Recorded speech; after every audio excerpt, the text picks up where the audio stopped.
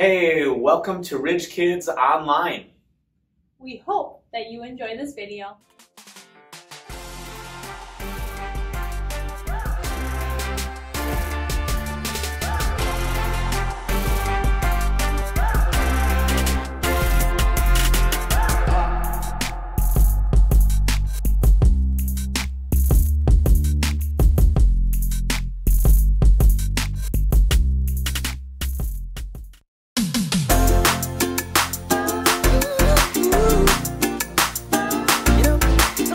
Gets hard.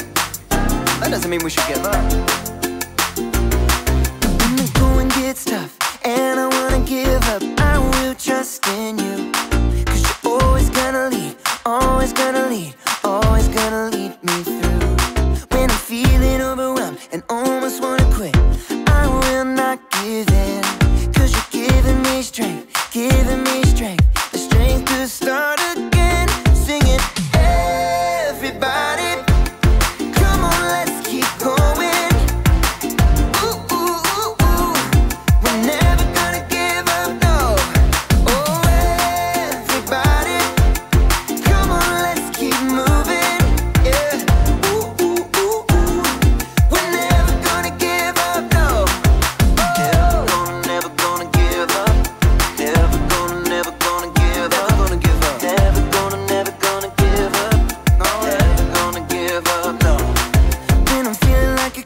finish where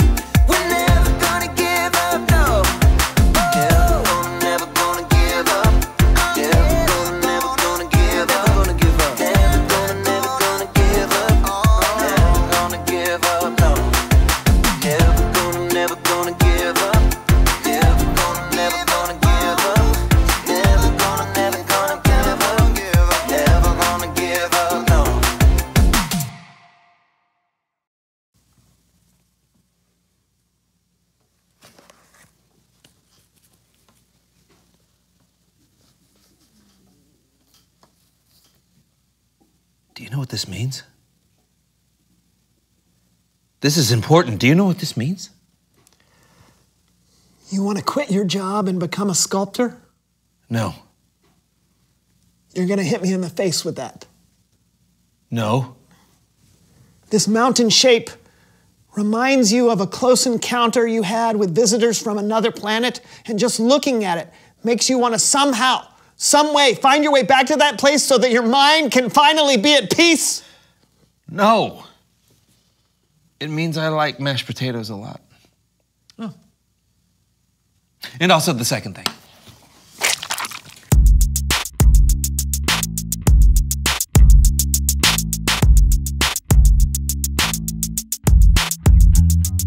And that's how I got rid of the squirrel smell. It was that easy.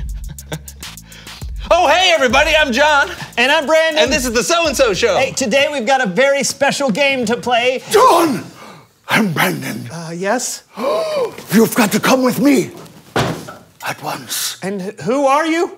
Oh, of course. Uh, apologies. Yeah. I am Doc Tan. Oh, hi. At your service. Well, welcome to the show, Doc. What kind of a doctor are you? Never mind. Listen, your studio is in danger. Danger. Yes, I've come from the past. You what? Travel through time to get to you. I have waited my entire life for somebody to say that to me. Am I dreaming? Ouch! You're supposed to pinch yourself to see if you're dreaming, not someone else. Oh. Ow! Um, listen, we are wasting time here. Your younger selves are about to turn this basement into an arcade. Oh, that's kind of cool. No, no, no, not cool. Because if it turns into an arcade, then it will never become a studio. And the so and so show will never exist. Oh, oh, it's time. I have set this alarm to precisely 17 seconds before we need to leave. Oh. Now, put these on. Oh. Quickly, Okay, okay. quickly. Uh huh. Here we go. Okay. Grab my hands. John, press the button for us. No! No!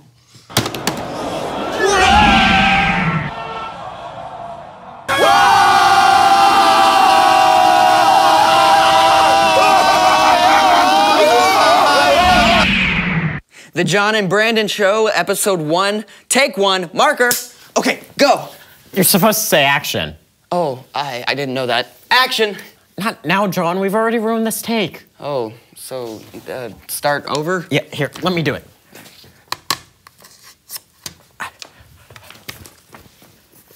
The John and Brandon Show, episode one, take two, marker, action. No, no, no, no, no, no, no. Oh, man. Sorry.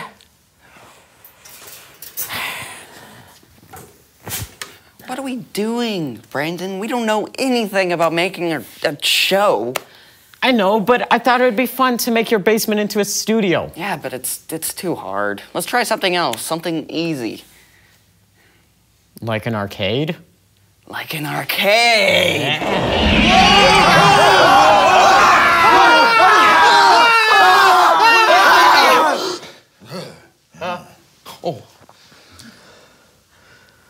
Do I know you? You seem familiar.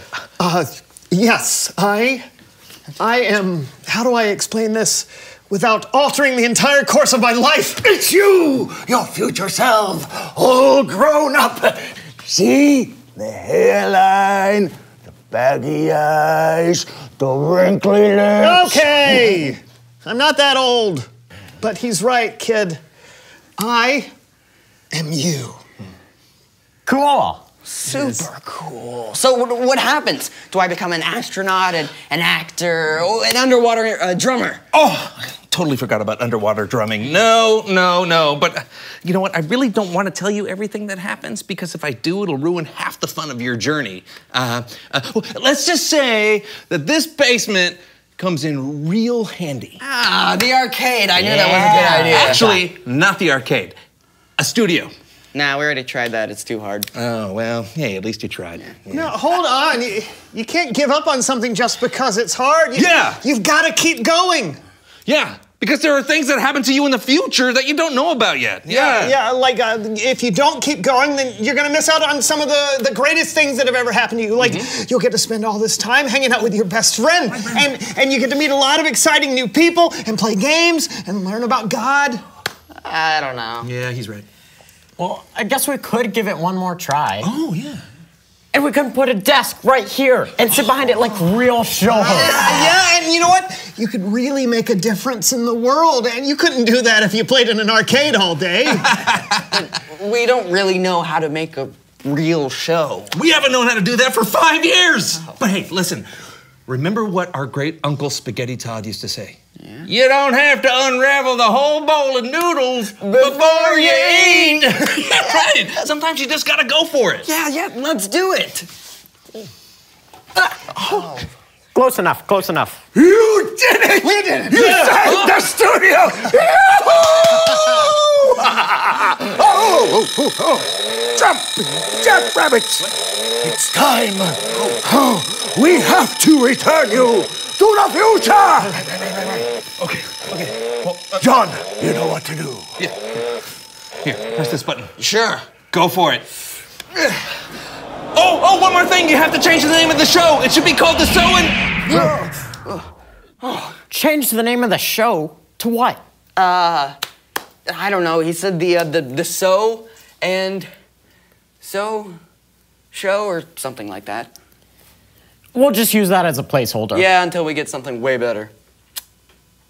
It's time for Bible story time with Kellen. Who's Kellen?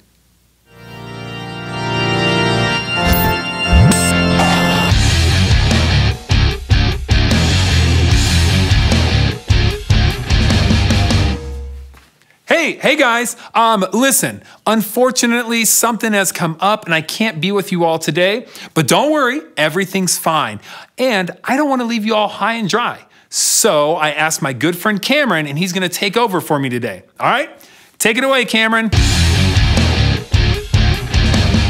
Hey, how's it going? Oh, it's going good. Yeah, yeah, we just time traveled and saved the show, so you know, pretty good day. What about you, Cameron? Just getting ready for another awesome Bible story.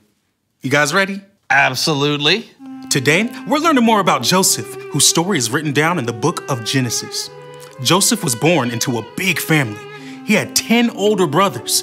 His father, Jacob, loved Joseph more than his brothers and treated him extra special. He gave Joseph a beautiful, expensive coat with many colors. Joseph had dreams that one day his older brothers would bow down to him. So his brothers became angry and jealous of Joseph. One day they teamed up against him, took him away, and sold him into slavery to some traders headed for Egypt. Joseph's brothers let their father believe Joseph had been eaten by a wild animal. While he was enslaved, Joseph was accused of something that he didn't do, and he was thrown into prison. Joseph spent years in prison, forgotten and alone. One person who forgot about Joseph was the Egyptian King Pharaoh's chief wine taster. He'd been in prison with Joseph, and Joseph had told him what his dreams meant. But when the wine taster went back to work for the Pharaoh, he forgot all about Joseph until two years later. Pharaoh himself wanted someone to tell him what his dreams meant. The wine taster finally remembered, and so Joseph was brought to Pharaoh. Joseph, I've heard that when you hear a dream, you can explain it. I can't do it, but God will give Pharaoh the answer he wants. Pharaoh told Joseph his dreams one about cows and one about grain. And with God's help, Joseph told Pharaoh what his dreams meant. God has shown you what will happen. Seven good years with plenty of food are coming, but then seven years without enough food will follow. Pharaoh should look for a wise, understanding man to take charge and store some of the food in the good years so there will be food to use later. God has made all this known to you? I'm putting you in charge of the whole land of Egypt. Pharaoh gave Joseph the royal ring that he was wearing. He put fine robes around him, he gave Joseph a chariot to ride, and made Joseph the second in command.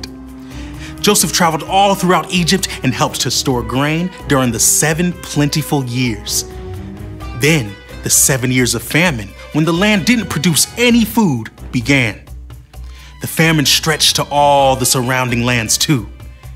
And everyone who was hungry came to Joseph to buy food, including Joseph's brothers. His ten older brothers traveled from their homeland far away. They bowed down to him just like Joseph dreamed they would. Joseph recognized his brothers, but they did not recognize him, so he pretended to be a stranger. Where do you come from?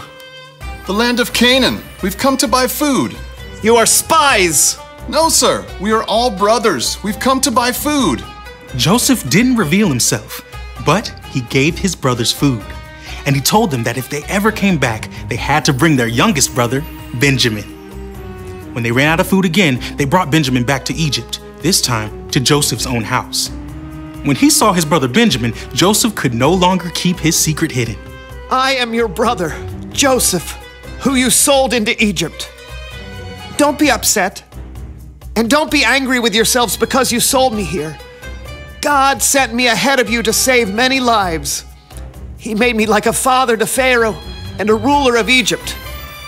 Now, go back to my father and tell him everything. Then Joseph hugged each of his brothers and cried over them. Pharaoh set aside the best land in Egypt for Joseph's family. Joseph was finally reunited with his father, and Joseph was able to provide for all his family. Joseph had some very hard times. It would have been easy for him to give up, but he held on, and God worked out even the worst circumstances for good. In the end, Joseph forgave his brothers and saved their lives. Even when Joseph couldn't see it, God was with Joseph. Joseph could only see his story in parts while he was living it. God could see the bigger story. Whoa. My thoughts exactly. I mean, Joseph's brothers were terrible to him. Yeah, they were. But Joseph didn't give up. God was able to make something good come out of something bad. You know, God's pretty amazing at turning things around. Totally. Great story, Cameron. Bye. Anytime. See ya. I am glad we decided to keep going all those years ago. Otherwise, we would have missed today's story. Yeah, and they would have too. Yeah, everything turned out much better than I expected. So true. So, uh, hey, reveal the question. Oh, yeah, that's good. When has something turned out better than you expected? You know, maybe you had a school project you were worried about, but then it went really well. Or uh, you had to go somewhere where you didn't know anyone and you ended up making a friend. Yeah, there are opportunities all the time for God to exceed our expectations. Absolutely. So I hope you'll join us next time. We expect it'll be amazing. Maybe not that. I'm John. And I'm Brandon, and this was the So and So Show. That is so much better than the John and Brandon show. Yeah, it should have been the Brandon and John show anyway. Why? Uh, because my name would have come before yours. How so? Brandon and John. Brandon comes before John when I say it that way. Why? Do you really not understand what I'm? No.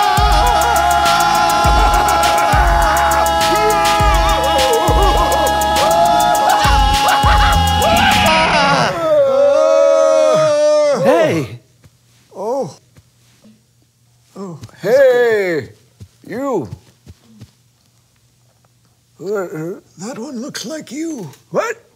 That one looks like you. No, I don't see a sheep. So we're still doing this. Hey. Oh, man.